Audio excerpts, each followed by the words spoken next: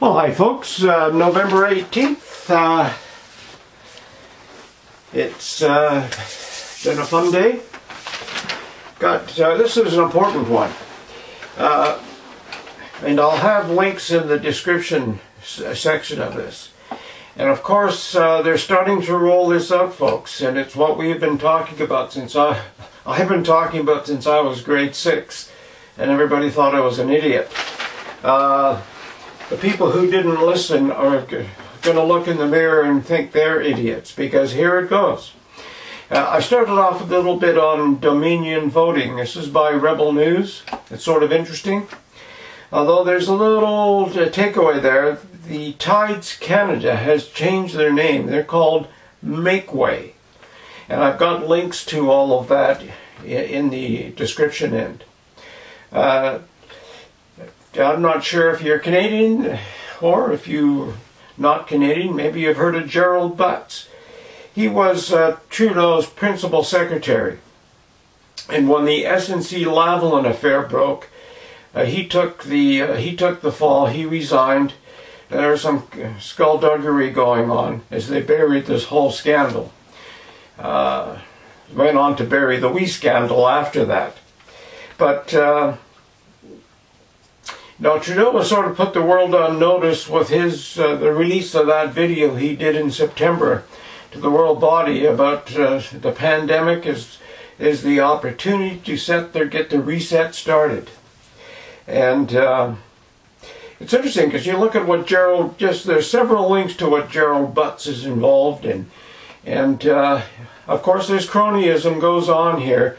Uh, now Trudeau looks after his friends, and uh,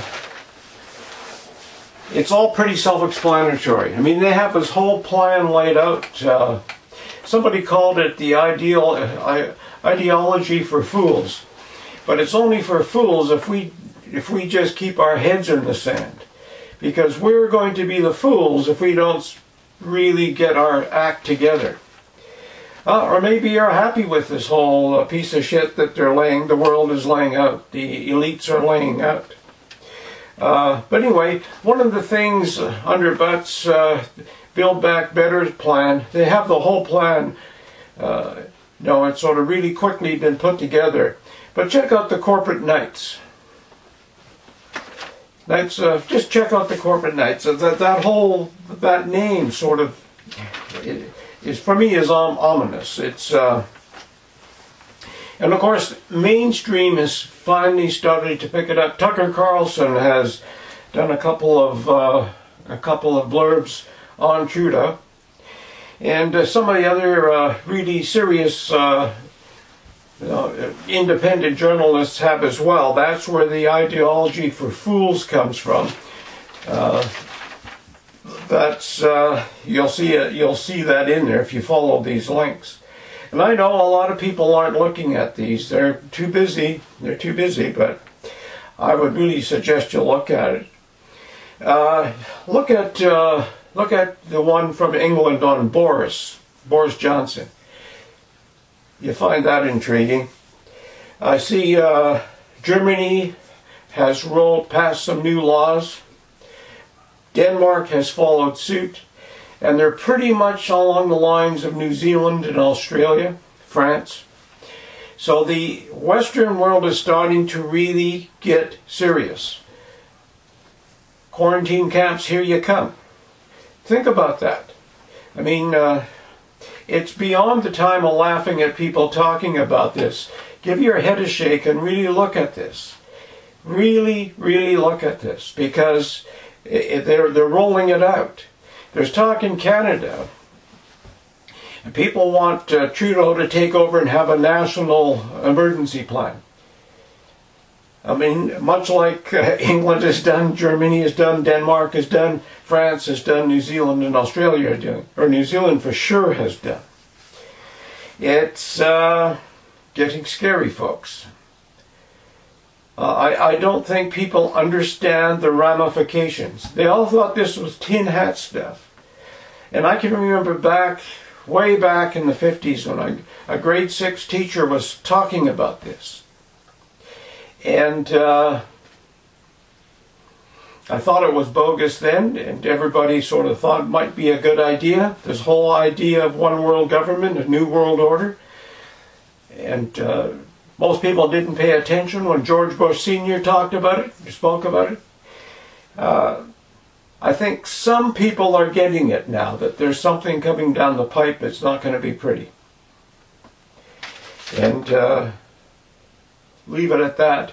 Uh, I think uh, if you don't look at this, don't pass this information on, well, you're just going to deserve what we get.